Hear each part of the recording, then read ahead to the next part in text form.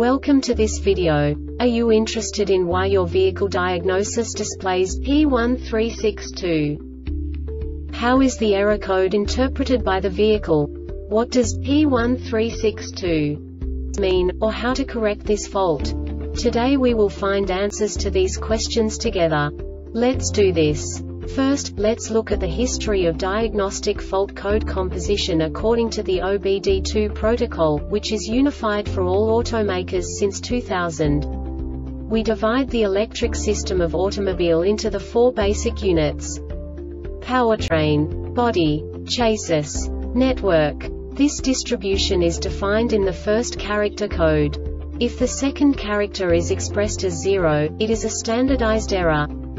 In the case of numbers 1, 2, 3 it is a more prestigious expression of the car-specific error. The third character specifies a subset of errors. The distribution shown is valid only for the standardized DTC code. Only the last two characters define the specific fault of the group. Let's not forget that such a division is valid only if the other character code is expressed by the number 0.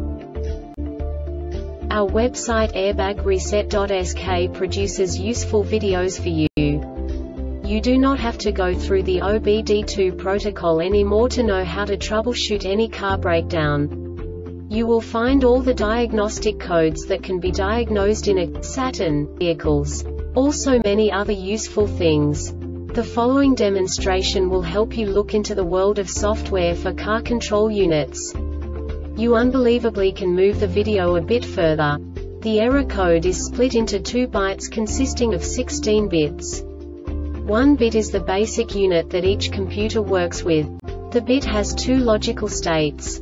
0, low level, 1, high level. By combining the first two bits, the basic character of the error code is expressed. The next two bits again determine the second character. The last beat styles of the first byte define the third character of the code. The second byte is composed of a combination of 8 bits. The first 4 bits determine the fourth character of the code. And the combination of the last 4 bits defines the fifth character. A single byte conceals 256 possible combinations.